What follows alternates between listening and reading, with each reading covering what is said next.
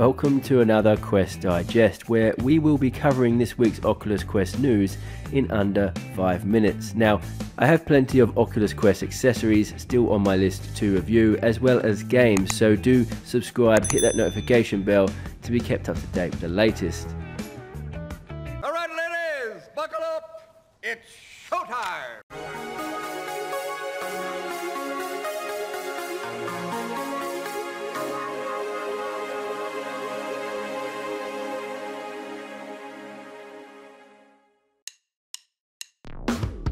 This week we saw images of what looks like the love child of the Oculus Quest and Oculus Go. This, what you're seeing here, is apparently supposed to be either the Oculus Quest 2, which I assume would have more power and better performance, or the Oculus Quest Lite, which is similar to the Quest you have now, but perhaps with some minor improvements and probably cheaper to produce, so that Oculus can better meet demand. Which one of these it is, no one actually knows, but it does come from a pretty reliable source, as Walking Cat has been known to release tech images online ahead of their official release dates.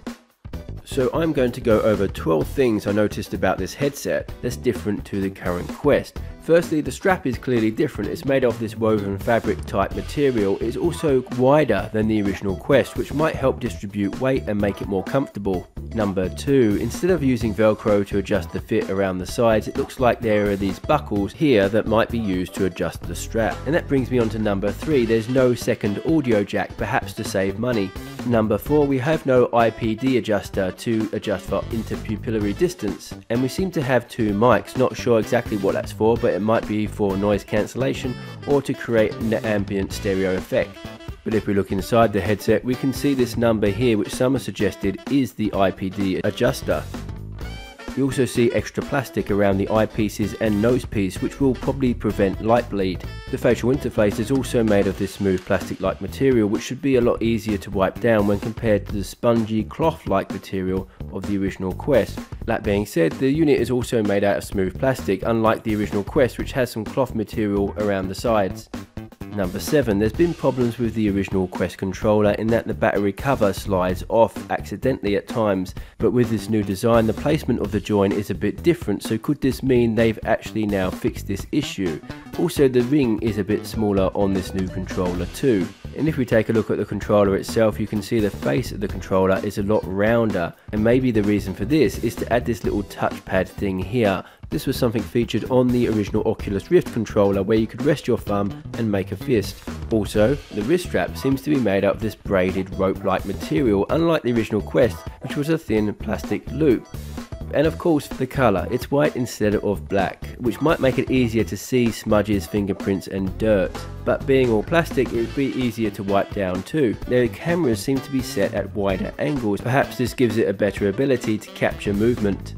Finally, the USB-C port is at a horizontal angle which will make it easier to attach an Oculus Link cable and run the cable along the length of the headset without having to bend it.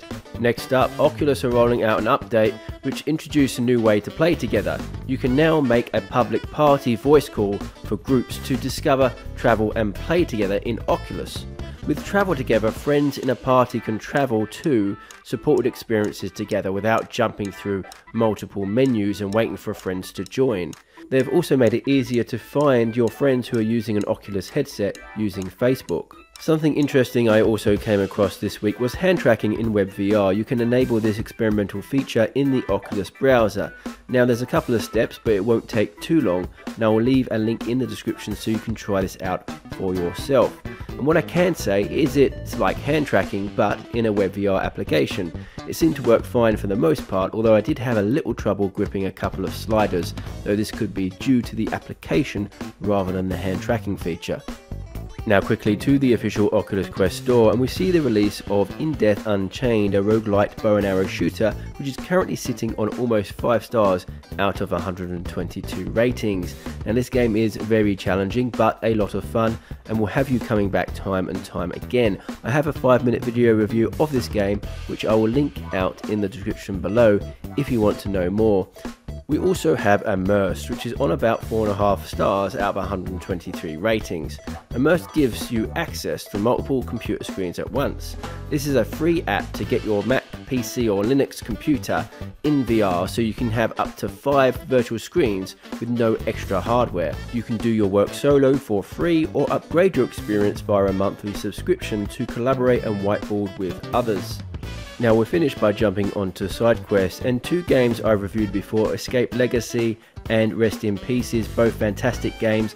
You can find my reviews linked in the description below where they've received updates. For Escape Legacy you're now able to move by teleporting and for Rest in Pieces there's been fixed graphics texture and colour grading issues. One game that caught my eye this week was Titan's Rampage, where you play the role of a titan and have to just smash your way through different kingdoms from medieval kingdoms to futuristic sci-fi kingdoms. We also have Project Resonance, an adventure puzzle game where you play the role of a private investigator tasked with finding a missing archaeologist. As you approach the truth, strange phenomena begin to be revealed. Next up is RD's Carnival Shooter. Now this is a retro inspired shooting game where you plug in the cartridge and get to play one of two main games. One is a duck hunt inspired shooter and the other is styled like a carnival game where you have to shoot the various targets that go by.